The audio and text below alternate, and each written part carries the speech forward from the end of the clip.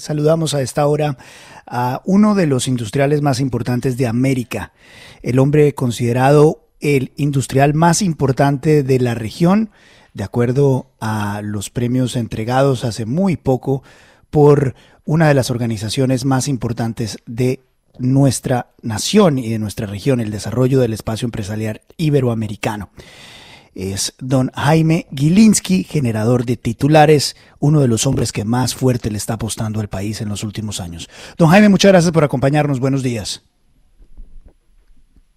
Buenos días, Carlos. Gracias por darnos unos minutos aquí en la FM. Don Jaime, quisiera empezar preguntándole sobre su OPA de Argos. ¿Cómo va su OPA de Argos? ¿Cómo está este negocio avanzando en el cual ustedes quieren como organización tener una importante participación? Sí, eh, efectivamente la, OPA de Argos eh, vence mañana. al viernes la acción preferencial de Grupo Argos había cerrado en 7.120 pesos. La oferta que Mugil ha hecho eh, está alrededor de 18.000 pesos por acción ordinaria. la posición nuestra es que por ahora no veo más sopas por algo. Nos vamos a enfocar en Sura y en Nutresa eh, eh, después de los resultados de mañana. Esa es una noticia muy importante. Usted no ve más OPAs por Argos para a, partir de mañana y van a continuar en su camino con Sura y Nutresa. ¿Cómo va esto de Sura y Nutresa? ¿Cómo ha resultado para usted, para la compañía y para lo que tenían previsto? Sí, efectivamente, pues desde, desde noviembre que comenzamos eh, las sopas, eh, pues hemos estado concentrados en, en, tratar de, entender y conocer las compañías y de, de involucrar, digamos, personas en, en las juntas directivas como lo, como lo hemos hecho. Eh, básicamente a, a, la fecha, digamos, en Grupo Sura tengo aproximadamente el 38%, en Nutresa un 31%. Eh, y, lo que hemos visto pues, desde que iniciaron las sopas es de que las acciones, eh, tanto de, Sura como de Nutresa, pues han subido de una manera muy importante por, por las mismas sopas. Eh, para mí es muy importante que, que las compañías se concentren en la utilización del capital de la manera más eficiente posible. Eh, creo que analizando tanto en Sura como en Nutresa, especialmente en Sura, pues veo que hay unas decisiones que hay que tomar con respecto a mejorar la rentabilidad de algunos activos y de fortalecer la compañía. nosotros hicimos a través de NG una oferta de compra eh, que hubiera significado una cifra muy importante, cercana a 8 mil a 9 mil billones de pesos, y eh, 8 a 9 billones de pesos, la cual pues no, no, no, no se cristalizó. Eso hubiera permitido reducir la deuda que con las eh, eh, circunstancias que estamos viviendo a nivel mundial y especialmente en la economía eh, colombiana, las tasas de interés están ya eh, por encima del, 10%. En la deuda en, Grupo Sura es una deuda por encima de 5 billones y, eso hubiera podido representar la eliminación de la deuda y, la mejoría de, la rentabilidad de la compañía. Creo que ahora hay algo importante que ha ocurrido hay más nuevas juntas. Tengo eh, el, mayor respeto por las personas que han entrado eh, y lo que espero es que estas nuevas juntas directivas, eh, que pues son nombrados en, muchos casos votados por los mismos miembros de, los administradores, se concentren en velar por los mejores intereses de, la sociedad. en el caso pues, de Sura y en el caso de Nutresa, donde somos accionistas importantes, pues espero que eso eso ocurra y, voy a tratar de, de, en los próximos meses concentrarme en que en que las compañías sean más rentables para todos los accionistas eh, puedan generar más utilidades y a la vez puedan reducir el endeudamiento que me parece importante en una época de aumento de tasas de interés. Doctor Jaime Gilinski, lo saluda Fernando Quijano del diario La República. En total, usted la inversión que ha hecho en Colombia en un momento donde, digamos, los grandes inversionistas han sido un poco pacatos, usted ha invertido alrededor de 2.000 600 millones de dólares y ha ganado con esa inversión en el mercado unos 4,8 billones, digamos, al, al, acceder a una participación cercana en el grupo, en el grupo Sura al 40% y cercana al 30% en el grupo Nutresa. Eh, ¿Qué viene para el futuro? Ya que es accionista de estos dos grandes grupos, ¿qué viene para el futuro? Eh, ¿Se saldrá de las compañías al no lograr un control claro donde pueda redireccionar el futuro de estas compañías? ¿O seguirá invirtiendo, digamos, hombro a hombro con los actuales eh, socios de las empresas del GEA?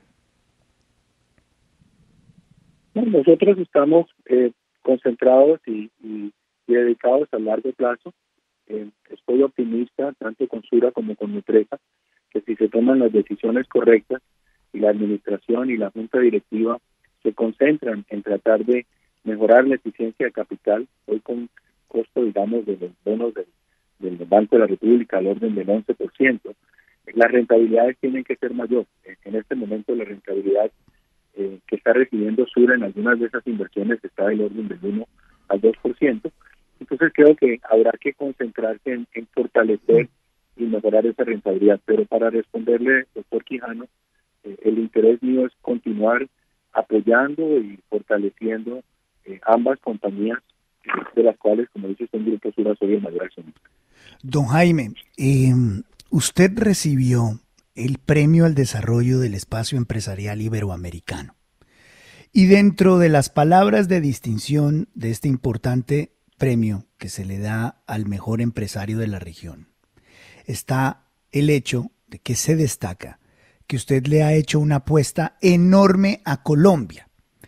La pregunta es, don Jaime, en momentos de cierta incertidumbre en el país, ¿usted por qué le apuesta tan fuerte a Colombia?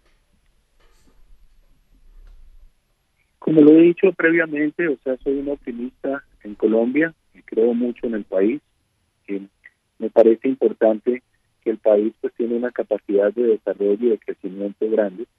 Eh, los resultados de la economía durante este año son resultados muy exitosos, o sea, el, Producto Bruto ha crecido cerca del, 10%. Eh, estoy eh, muy contento también del nombramiento del doctor José Antonio Campo como ministro de Hacienda del nuevo gobierno, una persona que no solamente tiene todo el respeto internacional por, su capacidad, por su experiencia, sino una persona que, que nos da a nosotros los inversionistas la confianza y la seguridad de seguir invirtiendo en Colombia. Don Jaime, de todas maneras, el ambiente económico global es un ambiente turbulento, de aumento de tasas de interés, de una estanflación extraña en Estados Unidos, aunque cercana con el pleno empleo, con alta inflación y los mercados cayendo fuertemente. No puedo evitar la oportunidad de preguntarle qué piensa sobre la economía global y sus efectos en Colombia, don Jaime. Mira, yo, yo creo que efectivamente eso es una realidad. El contexto internacional hoy en día es un contexto de alta inflación, subida de tasas de interés tanto eh, por la Reserva Federal en los Estados Unidos como por el Banco Central Europeo. Están los efectos de la guerra de Ucrania, eh, tenemos eh, todo en, el nivel, digamos, mundial eh, que, no se ve muy positivo. Estoy seguro que todo eso va a afectar el, crecimiento en Colombia. Yo espero que no sea algo de largo plazo, sino de corto plazo. Pero pues, como siempre he dicho, nosotros, los inversionistas y los empresarios, tenemos que mirar a largo plazo. y hay que tratar de ser optimistas, confiar en que el país se pueda recuperar eh, y que podamos, eh, las compañías en las cuales estamos nosotros involucrados, seguir contribuyendo no solamente a la sociedad, sino contribuyendo al, crecimiento del, crecimiento económico de Colombia.